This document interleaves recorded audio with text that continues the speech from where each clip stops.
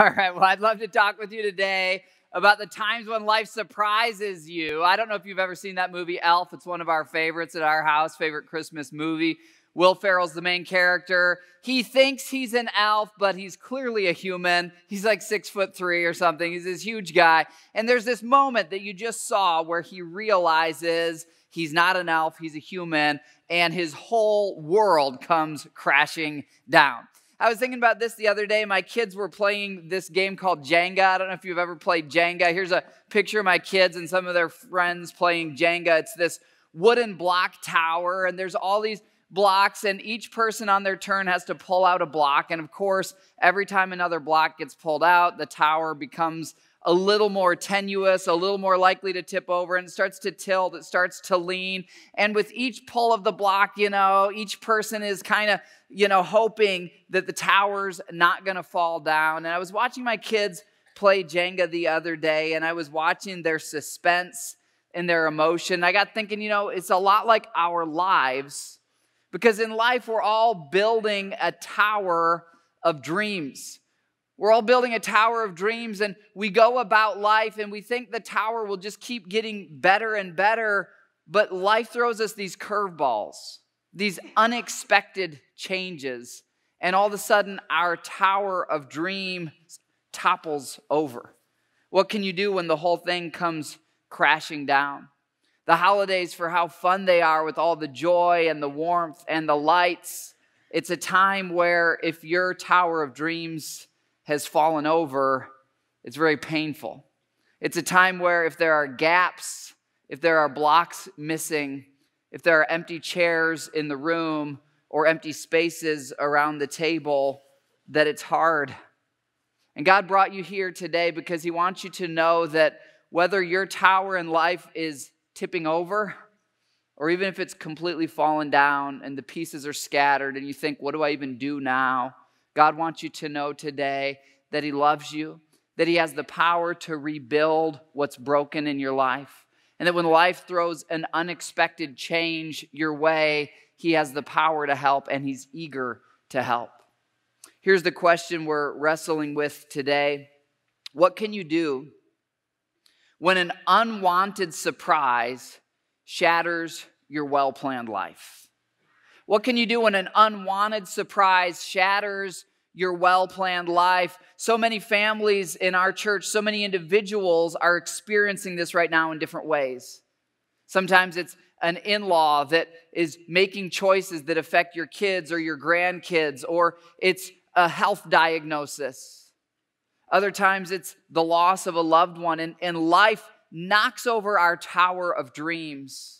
And all of a sudden, where we've been planning and everything was going to work out right, now it's a giant mess and we don't even know how to move forward. There's a couple right now in our church family who are inspiring me, Mark and Shannon, because this happened to them. They were pregnant and they were planning on a normal, full pregnancy and a healthy birth, but their child, Bryson, came early by a matter of months. And when he was born, he was just over one pound. Here's Shannon and her husband Mark and their baby Bryson. And as I've been walking with them, as we as a church have been walking with them, I've been seeing them wrestle with this question in a way that's full of faith, but also fully honest with the struggles of life. What can you do when an unwanted surprise shatters your well planned life? Well, I'll tell you more about Mark and Shannon's story as we answer this question. But I wonder does the Word of God speak to this? If God answers this question for the dreams in your life that have toppled over, would you want to know His answer to that question? Well, believe it or not, in the Christmas story, we've been reading through Luke chapter 1, and we've been learning in this series that God is with us. Christmas is all about God coming to earth to be with us, to feel what it's like to be inside a human body and to cry our tears, to be rejected by people we love, to feel our pain. Christmas is all about God being with us. And we're learning in this series that God is with the people who seek Him and who believe in Him, even when life is difficult. Last week we saw that in disappointment, God is not absent.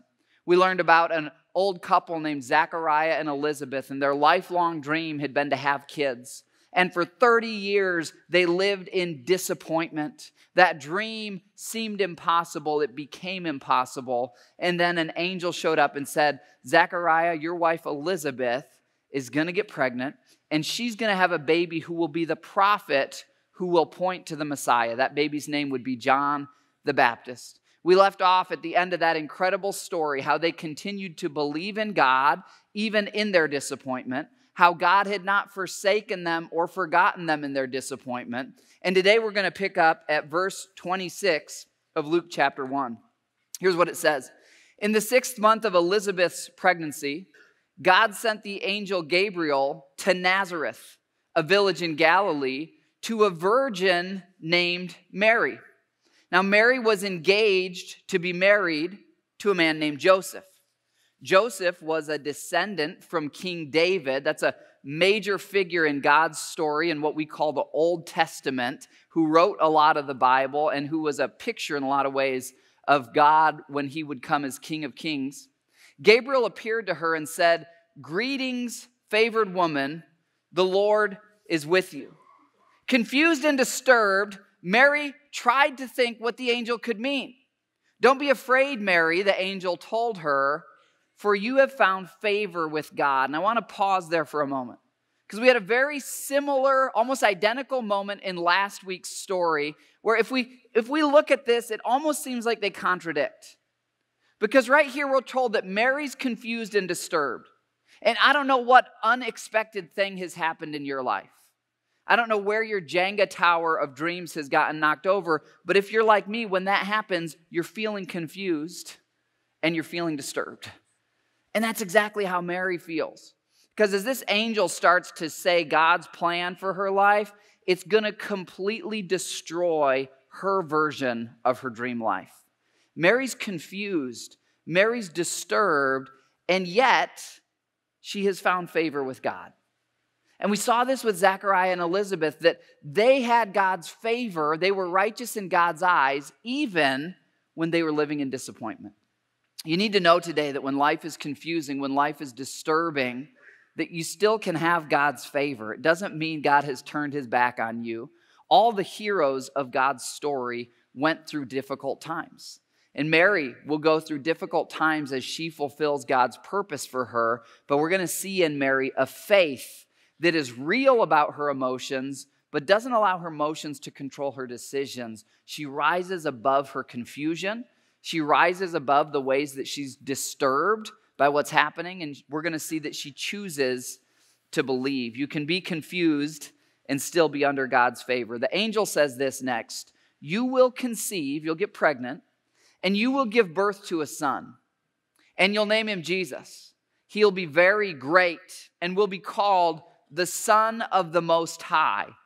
The Lord God will give him the throne of his ancestor David. So Mary had been raised Jewish, and like her great grandparents and her parents, she was looking forward to this God on earth Messiah.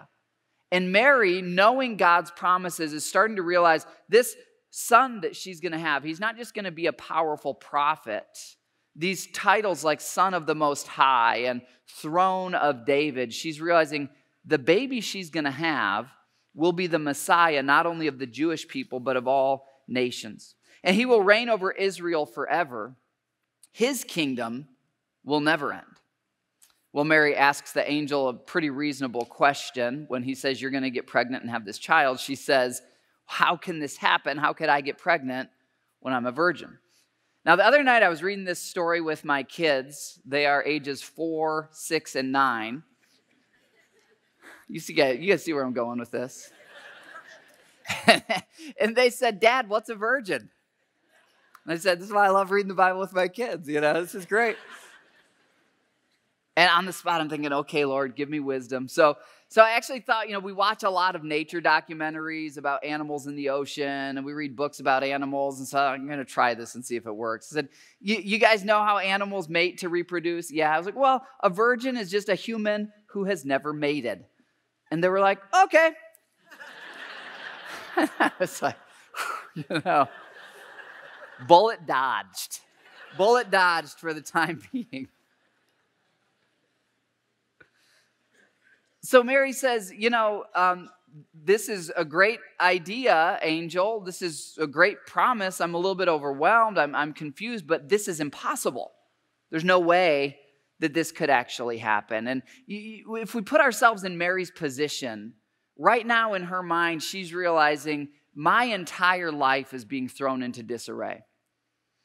I mean, even in our culture, which does not take marriage nearly as seriously as this culture did, even in our culture, if you could imagine right now, if you were a young woman and you were engaged, and all of a sudden you became pregnant, and an angel told you it was from God, but your fiance knows for a fact that it's not from your fiance, you can imagine going to that fiance and saying, uh, Hey, honey, I've got some interesting news. I'm pregnant, but don't worry, it's from God. You know, I, I, didn't, I didn't cheat on you or anything. It's a divine miracle. Can, can you imagine what's going through Mary's head? I mean, in our culture, that would probably mean there's not going to be a wedding and there's going to be a lot of consequences. But in this culture, I mean, this is a culture where a, a, girl who that happens to becomes damaged goods. She would never be able to marry anyone if Joseph breaks off the wedding. She, she doesn't have an education like nowadays. She doesn't have women's rights like nowadays. She's, she's going to live the rest of her life either in poverty or as a prostitute if Joseph gets rid of her because she got pregnant. And in this moment, she's processing okay, God, you're telling me this, but what you're telling me is impossible. And what you're telling me means that I will very likely be rejected, be mocked, possibly even be ruined. You talk about your Jenga tower of dreams getting upset. The angel replies to Mary and says, This, here's how it's going to work. The Holy Spirit will come upon you, and the power of the Most High, that is God, will overshadow you. So the baby to be born will be holy, and he will be called the Son of God. Now, if Mary hasn't caught it by this point, it's clear your child will be the Messiah, God among us. And it's very important. I won't spend too much time on it, but it's very important actually that Jesus did not have a human father. You see, the story of humanity, God tells us beginning at the start of his love letter to us, the Bible, in the book of Genesis. He says that he created humans to be immortal beings. We were never supposed to die, we were never supposed to have cancer or sickness. And we were supposed to be in relationship with him and each other in a perfect sense in an eternal, ongoing sense. So, why is it that we have divorce? And why do we have cancer? Why do we have rape and genocide and murder and betrayal and jealousy and greed and lust? All these things were invited into our world by some of the earliest humans, Adam and Eve. When God made Adam and Eve, He said, Here's the rules. I'm telling you this for your own good. There's one thing to not do, but I'm making you with a free will. You get to choose me if you want to love me or not. And at some point, if you don't want to do things my way, here's this one piece of fruit. If you eat that, it will bring death and destruction to yourself and to all your offspring. Well, Adam and Eve made that choice. It's called the Garden of Eden. It was a real, literal place where they physically chose to reject God. They invited sin and death into our world. And ever since, the brokenness has been spreading like a contamination, like pollution around planet Earth and in humanity. So each of us are born, and in our DNA, we get our eye color and our hair color and our personality traits. And from our dad, apparently, I'm sorry, guys. I wish this weren't the case, but you know, women, apparently, according to this text, when your child or grandchild sins, they get it from their dad. They don't get it from the mom. Because the idea is this that, that just as God has the power to breathe life into existence out of nothing, he has the same power to breathe life into any woman's womb at any time without a, another human being involved. God can do that. He created life in the first place. And the whole point of this, that Mary is a human who had not mated, is very significant spiritually means that the child born within her would not have that sin nature that we all inherit. Scripture says in Romans chapter 3 that all of us have sinned and fall short of the glory of God. Whether it's the Mother Teresa, the most spiritual looking person you ever know, everyone has had at least one moment where they've chosen the path of sin or of self, of lust, of deceit, of pride, of greed, instead of God's path. All have sinned and fall short of the glory of God. The beauty of the Christmas story is that a sinless child was born who was fully God and fully man, who willingly said, I will take the punishment, I will take the consequences of everyone's mistakes. And at the cross, he absorbed our judgment upon himself so that all who believe in him, we can have our records wiped clean, we can be sinless before God, we can be adopted into the family of God and have eternal life. So that's why it's so important that Jesus actually was born from a human who had never made it. And this angel says he will be called the Son of God. What's more, the angel continues, your relative Elizabeth. Mary remembers Elizabeth from family reunions and other things. Elizabeth is that really old lady who mom always said she's wanted a baby for 30 or 40 years. It's such a sad story. Your relative Elizabeth has also become pregnant in her old age. Now, my same kids who I was reading this with, and they said, What is a virgin? When we got to this, one of them made this observation that I hadn't even noticed. They said, Dad, this is so cool. God did a miracle for one lady who's too old to have a baby, and He did a miracle for another lady who's too young and not yet ready to have a baby. I thought, what a beautiful picture that God is longing to work through the whole spectrum of humanity, whether you're old or young whether you feel unqualified or whether you feel like you've been waiting for 30 years, God is eager to work in your life. What God's looking for are those few people who have a high view of Him and a strong faith in Him and an obedience to say, God, do your work in my life and through your life. Elizabeth is pregnant. People used to say she was barren, but she's conceived a son and is now in her sixth month. For the word of God will never fail. I just love this verse. The word of God, the promises of God will never fail. God keeps his promises. You see, God had made a promise hundreds of years earlier that a Messiah would come. And Mary's realizing as this angel's talking to her, God's promises for hundreds of years, they're coming true now. There's an old translation of this verse that I love. It says, Nothing is impossible with God. Because Mary says to the angel, Okay, that sounds like a neat plan, but there's no way that could happen. And the angel says, Nothing is impossible with God. God keeps his promises. God's not limited to what we think of as possible. So let's review what's happening. A sudden change has thrown Mary's life into disarray. God says he has a plan, but Mary can't see how the plan could possibly work. Mary's frightened. She doesn't see the future. She doesn't know that 2,000 years later, one out of three people in the world will celebrate her son's birth. She doesn't know that 2.4 billion people will claim to be Christians in a world of 7 billion people. She doesn't know any of that. All she knows is that her fiance is going to have a really hard time understanding this and that God has made promises, and she's frightened. She knows she'll be mocked, possibly ruined. How does she respond to God's impossible promise, here's her response Mary said, I am the Lord's servant.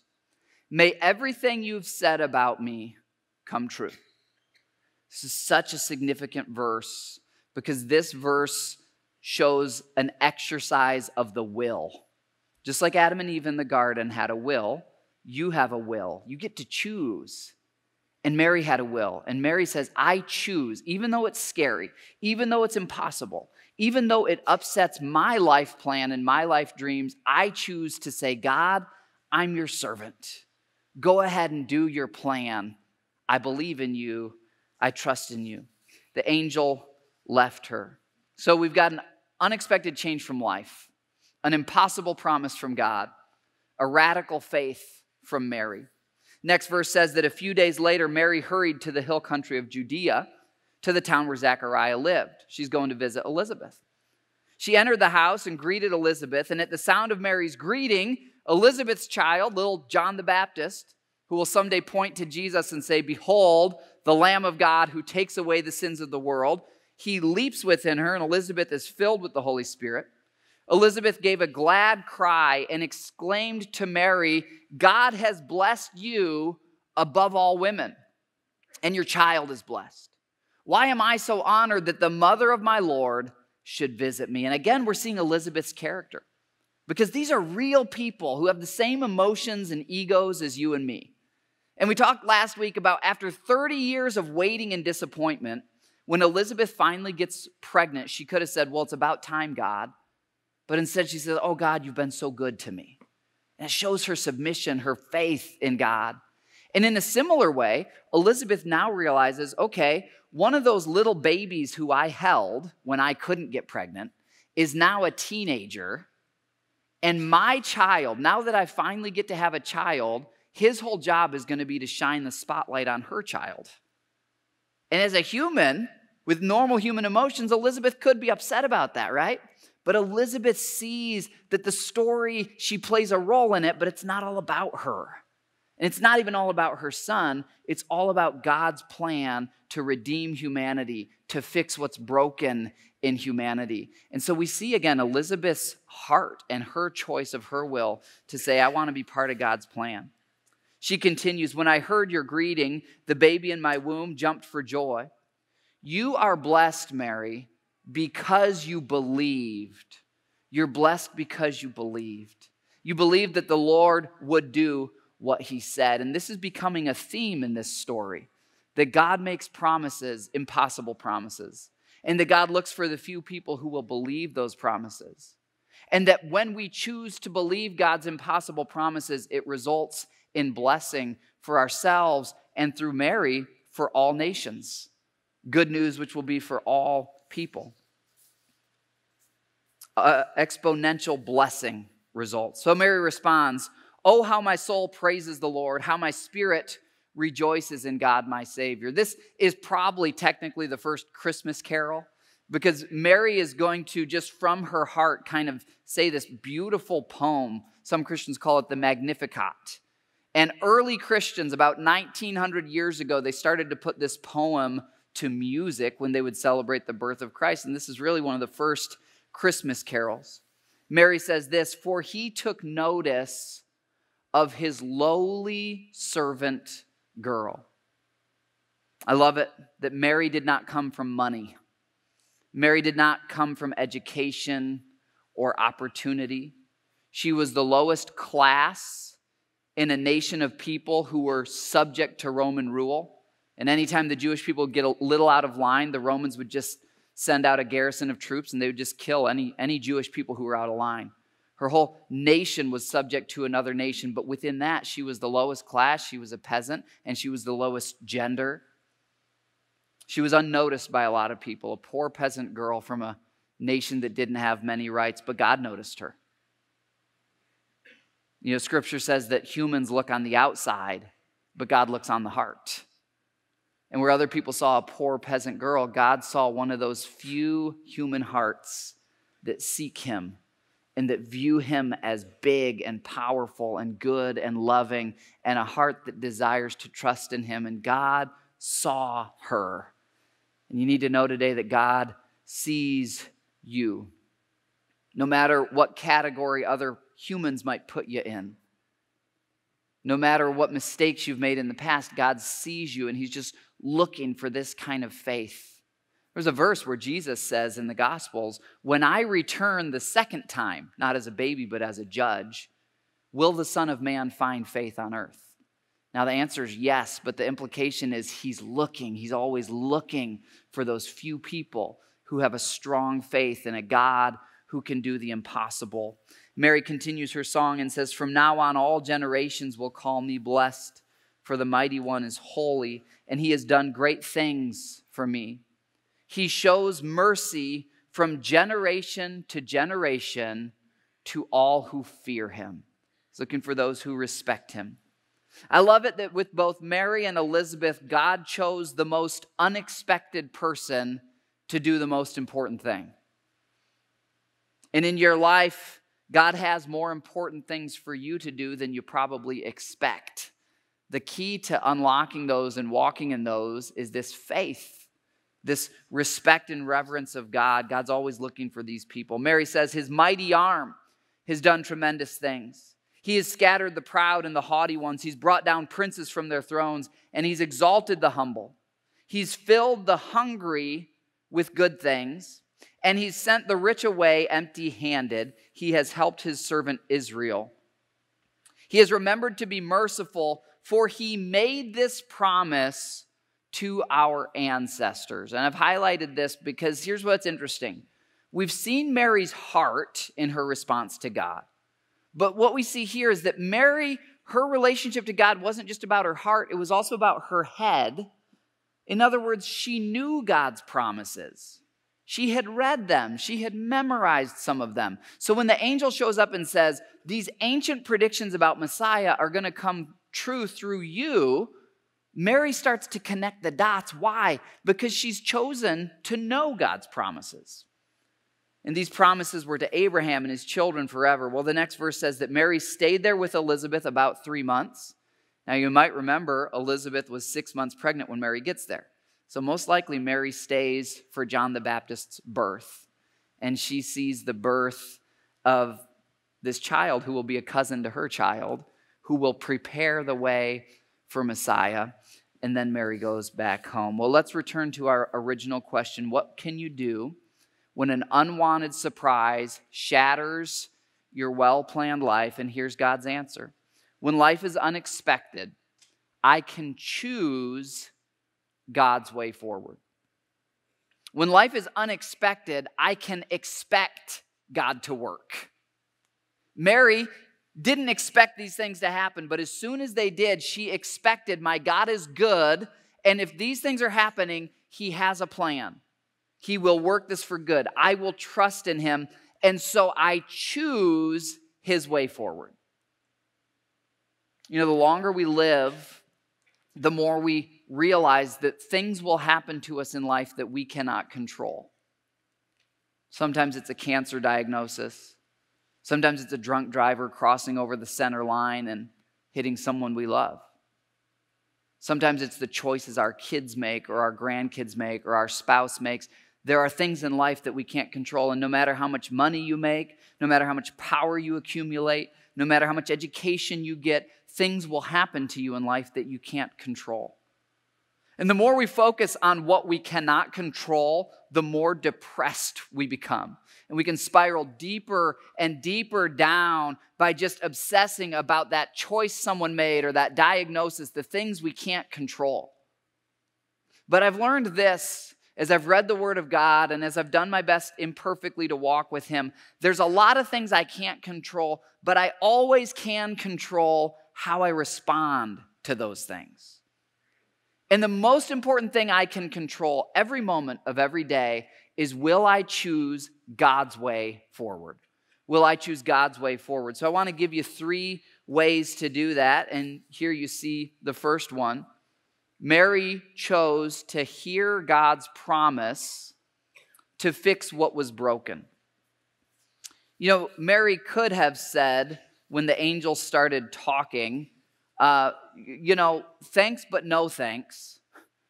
I, I, I kind of appreciate what you're saying about me getting pregnant without Joseph and that there's a good plan in it, but that, that is just a little too uncomfortable for me. Mary could have put her hands up. She could have said, I don't really want to be part of this. And step one of her choosing God's way forward is that very simply, she said, I will hear God's plan to fix not only what's broken in my life, but what's broken in all of the world. And this is what's so beautiful about Christmas it's personal to you. Christ came to fix what's broken in you, what's broken in your habits, in your addictions, in your relationships, what's broken between you and God. He came to fix all of that so that you can have eternal life and you can have peace in this life and you can have freedom from addictive behavior and you can have restored relationship. He came to fix what's broken in you. But he also came to fix what's broken in the other 7 billion people in the world, the 108 billion people who've ever lived in human history. The whole human story, which is broken, he came to fix. And step one of choosing God's way forward is saying, God, I will hear your promises about how you will fix what's broken. Now, God's promises often seem impossible. Remember, for Mary, what it meant is as a poor peasant girl with no rights or education, living in a nation that is under the fist of another nation, I'm going to believe that my God will someday be born as a human and he will be a Messiah. He will be King of Kings and Lord of Lords, and he will set up an eternal kingdom. That sounded impossible, but she believed it. Now, here we are. And there are prophecies in Scripture that tell us that same Jesus who died on the cross rose again and has gone to heaven to prepare a place for us. He will return. And when he does, he will judge humanity. All who've trusted in him will be counted as righteous because of our faith in him and his work on the cross. And then scripture says, He will make all things new. And everything that's broken, He will repair. And it says for followers of Jesus that He will wipe away every tear from our eye, and we will be with Him in a new Garden of Eden, a new heaven and a new earth where there will be a tree of life. We will live for eternity. That's a beautiful promise, but it sounds kind of impossible, doesn't it?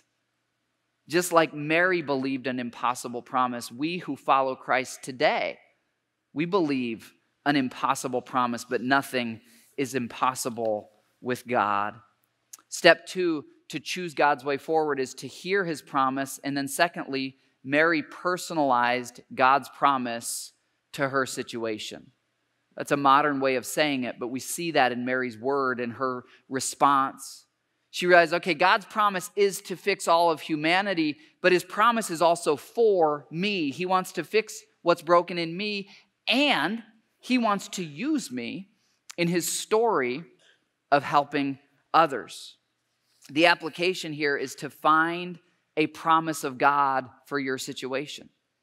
I don't know where your Jenga tower of life is tilting or where it has toppled, but I do know this there are hundreds of promises in Scripture for you, and there are dozens that apply to that specific situation. You can find a promise of God that applies to you. Uh, quick question survey. You don't have to raise your hand, but do you know this person in your life who is the early technology adopter when a new iPhone or new gadget comes out? They are the person who has to be one of the first ones to get it. Do you have such a person in your life?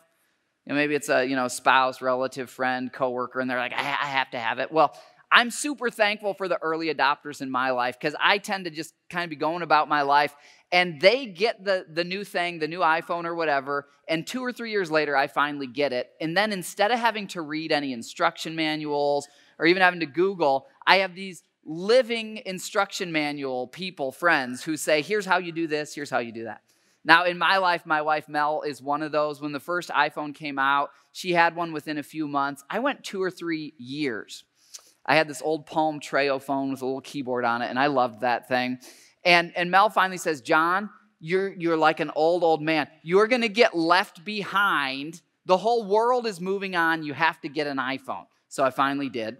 And, and sure enough, as soon as I got it, I realized she's right. I was going to get left behind. This thing changed my life. So now whenever I have a you know new piece of technology, it's usually Mel who will say, "Oh, did you know about this feature?" And I'm like, "I had no idea it could do that." So, a little pro tip here. I'm going to share a technology tip for you guys, okay? Now, some of you, especially the younger ones, you're like, yeah, yeah, this is boring. But others of you are going to be like, whoa, I had no idea I could do that, okay? I want to teach you how to take a screenshot on your phone, okay? because if you're like me, you know, there was a little while where I was like, how do people do that? How'd they text me a picture of their screen? That's so cool. How'd they do that? So I was asking Mel, this, this was a while ago. I've known this for a while, okay? But she said it's really simple. You just push the home button and the sleep button at the exact same time. And of course, like the first time I try it, I put the phone to sleep. I'm like, it didn't work. I just put the phone to sleep. She's like, no, you have to have it at the exact same time. So you practice a little bit, and then you get it down. Now I'm, you know, taking screenshots all the time, and you know, so so here's your tech tip today. If you don't know how to take a screenshot, push the home button and the sleep button at the exact same time. You've got a screenshot. Now here's the thing. I carried an iPhone around for a number of years before I knew how to do that. My phone still has hundreds of features that I don't even know how to take advantage of. And that for me is symbolic of the Christian life because you see, God gives a promise for the exact situation that you're going through. But I wonder do you know the features of His Word? Do you know the promises that He's given to you?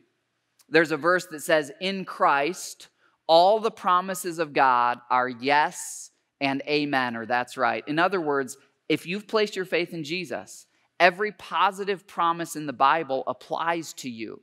And when you go through a hard time, yes, you kind of dig in and say, Well, I just have faith, I'm going to believe. That's good. But your, your faith can get personalized and you can claim a promise that is specific to your situation. So, how do you know those promises? Well, I'll give you three really simple ways. First is to do what you're doing today. Every time you gather here on a weekend, my job is to open up this device, the Word of God, and say, Here are the features. So, by being here, you're learning God's promises. Another way is to have friends, like I do with my wife Mel and some of my other friends, who say, Here's how it works. And that's why we have small groups here. And that's why if you don't have some Christian brothers or sisters who are on the journey with you, maybe you have breakfast once a week, or you're in an official small group here, or you're in some kind of Bible study, you'll have times where you say, I'm going through this, I don't know what to do. And another believer will come alongside and say, Oh, I was in the same situation, and here's what God taught me. The third way you can learn the features is to read them for yourself. And if you don't have a Bible that you love reading, we'd love to get you one today. On your way out in the lab, you'll see uh, a table we're selling these life application study bibles. And if you can't afford one we'll be happy to give it to you. This is my favorite bible because this specific layout of scripture is what changed my life when i started really seeking jesus in my life. And it's like having a really really loving but smart pastor with you every time you open the bible. And i love it because it has a alphabetical index in the back of subjects so you can look up subjects like you know money sex greed jealousy taxes anything. You look it up and it'll show you the passages that talk about that and you can find the promises of god that apply to you. For example, I remember right after I finished my undergrad, I was working as a newspaper journalist, and I really wanted to find my life partner. I was like, ah, I, I just, I, you know, I wanna, I wanna find someone who's committed to me for the journey and just, you know, it wasn't working out for some reason. I don't know why. I don't, I don't know why. I kept getting rejected, okay? And and I was reading one day, and there was this verse in Proverbs that says, Finish your outdoor work and plant your fields and then build your house. And for me at that time in my life, it was like, you know what? I just need to focus on doing my job well and becoming good at what I do and loving God and really being a strong Christian. And eventually, he will build my house. And, and he did. And that was a promise that I needed for that season. But I knew it because I was just reading this every day. So if you don't have one, grab one on your way out. God gives a promise for your situation. Let me show you just a few of these promises. There's hundreds of these features, okay? But here's just a few of them. We have the promise of salvation and eternal life. And on your outline, I've put the scripture references for each of these. But you know, I think of different families in our church different people in our church and what they're going through in life right now. There's a family in our church who recently lost a newborn child. That newborn was, was born prematurely, and they had hoped and dreamed that the baby would be healthy, but that baby went home to heaven. And they're grieving, and they're confused, and they're disturbed, like Mary was. But in it, I see them clinging to this. They know that that baby is not lost. They know that that baby is in God's presence, and the day is coming, 60, 70 years from now, where they will be together with that child for all of eternity. So, yes, they are believing in God in a big sense, but they're clinging to very specific promises of eternal life, that we will be reunited with all who've gone before us who've placed their faith in Christ. I also know, ironically, within a congregation this size, that there is right now a young woman who doesn't want to be pregnant because she's not supposed to be pregnant and she's embarrassed that she's pregnant. And there's all sorts of options before her of what to do. And there's the temptation in our culture to take that human life so that her life would be easier. And for her, God gives the promise in Romans chapter 8 that there is therefore now no condemnation for those who are in Christ Jesus. We all make mistakes, we all mess up. God tells us that if we confess our sins, He's faithful and just to forgive us our sins, to cleanse us from all unrighteousness. And as a follower of Jesus, when you mess up, you confess it to God, you get back on track, but you turn to God with it and you say, God, work this for good. And I know that for that young lady, if she will choose God's way forward, just like Mary did, that God will bless her, God will bless that child, and God might even bless another family that wants to have a child but can't. There's a passage in Jeremiah that says, uh, God says, Here are the plans I have for you, not to harm you, but to prosper you. And that's a promise that others in our church are holding on to right now. God guarantees in Romans chapter 8 that He will work all things together for good, even the very difficult things in your life. He's not the author of evil, but He can turn it for good if you will turn to Him. Each of these has a verse that you can you can circle this on your outline if you're like that's the one I need. You can look that verse up. You can memorize that verse just like you'd memorize the features on your phone. God promises you peace regardless of your circumstances. He promises you wisdom in James chapter 1. If anyone needs wisdom, ask of God and ask with faith, and he'll give it to you. 2 Corinthians 1, verse 20 says that every promise of God is yes in Christ Jesus. Like Mary, you can choose God's way forward. And the third step to doing that is to believe. Believe God's good plan for you, even when it seems impossible. And this one's all about your will. This is all about your choice. Just like Mary made that choice, I wonder will you choose to believe God's impossible promises? That's what Mark and Shannon are doing right now. Mark and Shannon are going through this unexpected premature birth of their son, Bryson. And in it, they're modeling for us what it is to hear God's promises, to personalize them to their situation, and then to say, We believe in God's promises. Mark's been writing a blog. He writes it from Bryson's perspective. And uh, if you read it, bring a box of Kleenexes because I cry every time I read Mark's blog about Bryson, who was born at about one pounds and is up to about two pounds, 10 ounces now, but everything's there. He's this fully formed little guy, 28 weeks when an abortion is still legal, com- still legal, completely formed human being. And here's what, here's what Mark wrote. He said, Being a parent in the neonatal intensive care unit is full of ups and downs. This week has been a roller coaster. Mark describes how they did some x rays and they learned that Bryson has some broken limbs, which are common with um, those premature births. But the good news is his vitamin D levels are where they're supposed to be and he's gaining weight. Mark goes on to write that he's now the largest he's been. He's almost three pounds. He's gained three centimeters in one week. And I love this next part because Mark, you're going to hear the confusion, the disturbed that was true of Mary, and it's true of all of us. It's not unspiritual to feel confused or disturbed or tired. Mark says this Pray for me and Shannon that we continue to keep our faith and trust in the Lord. Pray that we can stay strong, knowing we're both tired and stressed, and we might snap at each other at times, but we are still madly in love, and with God's help, we will make it through this. Mark says, Thank you all for your support and prayers. We can never repay you. And then he writes this line that I put at the top of the screen here A long road means a greater opportunity for God to shine. I got to pray with Mark and with Shannon last night, and I got to see the faith that is in them. They're just as real and human as us, and they're in a moment where their Jenga tower got knocked over, and their life plan is not what they wanted it to be. But just like Mary, they're turning to God. Here's a picture of little Bryson. You gotta, he looks a little angry here, but you just see how little he is. And he's with his older brother, who's also a miracle baby. And I just love his shirt. God has big plans. God has big plans for this little guy. And God has big plans for all who will trust in him. You can't control what happens to you in life, but you can always control will I choose God's way forward? And God brought you here today to just know that he's got good promises for you. He's got good plans for you. The choice is up to you. Will you choose, like Mary, to say, God, I'm your servant? Show me your way forward, and that's what I'll do.